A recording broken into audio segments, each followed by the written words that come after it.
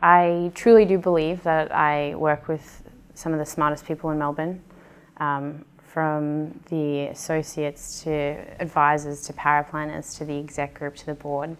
I've been blessed enough to be around intelligence for a lot of my life with people I study with, studied with, people I've worked with at Deloitte and now specifically Viridian.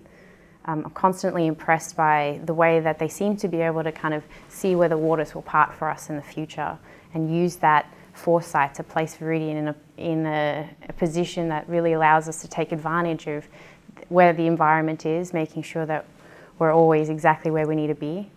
I feel blessed to be a part of this. I feel blessed that thanks to these people, I'm constantly pushed, I'm constantly learning, and feel like I'm a part of something cool.